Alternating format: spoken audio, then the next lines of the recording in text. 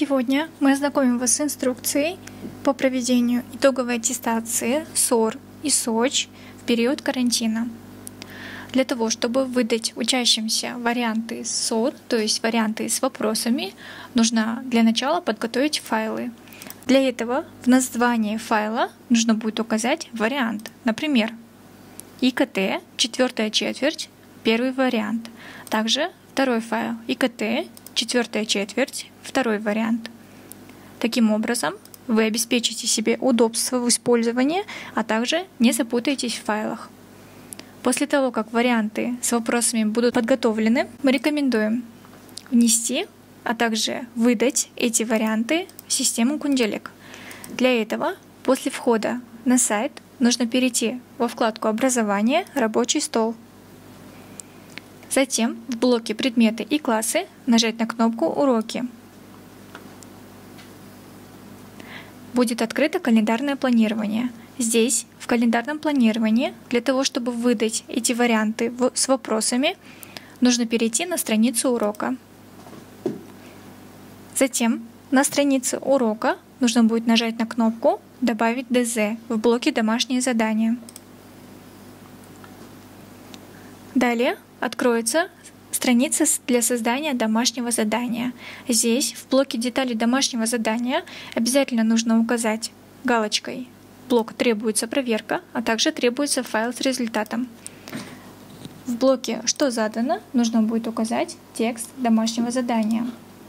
В данном случае, так как проведение СОР и определенного текста указывать не нужно, например. В данном случае, так как отсутствует конкретный текст по домашнему заданию, то есть упражнения и так далее, мы рекомендуем указать следующую информацию, то есть проведение СОР по информатике, время выполнения 20 минут.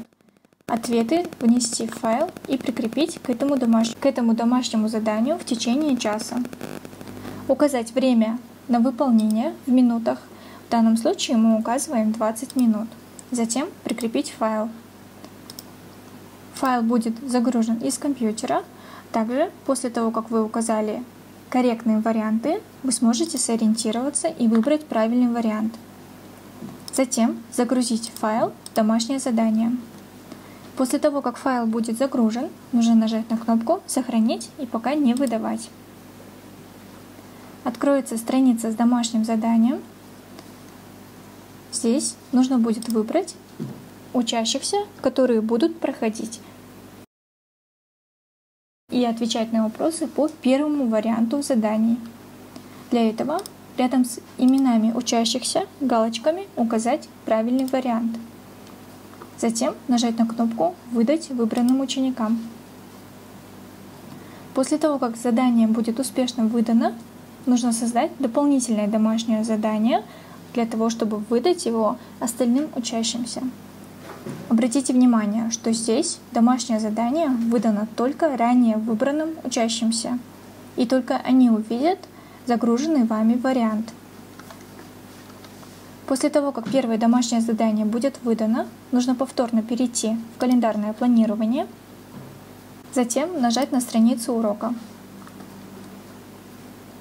Далее нажать на кнопку «Добавить ДЗ» указать все необходимые параметры, то есть требуется проверка и требуется файл с результатом. Внести текст домашнего задания, время на выполнение и прикрепить файл со вторым вариантом вопросов.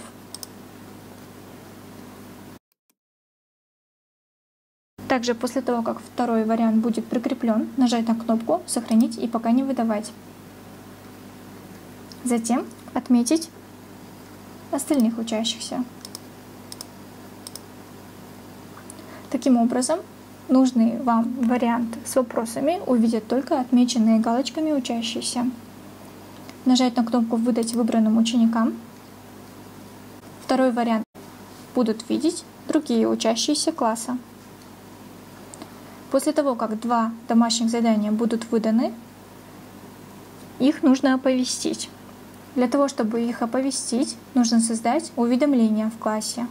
Для этого перейти во вкладку «Образование. Моя школа». перейти на страницу выбранного класса, то есть нажать на кнопку «Страница класса».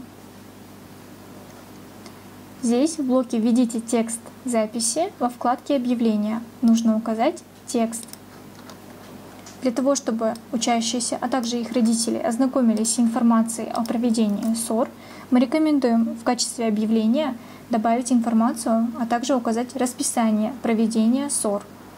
То есть уведомляем, что в определенный период начинается период проведения СОР в нашем классе.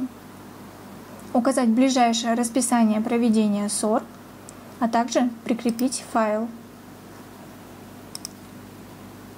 В файле будет полное расписание с датой и временем проведения СОР. Прикрепить файл и отправить.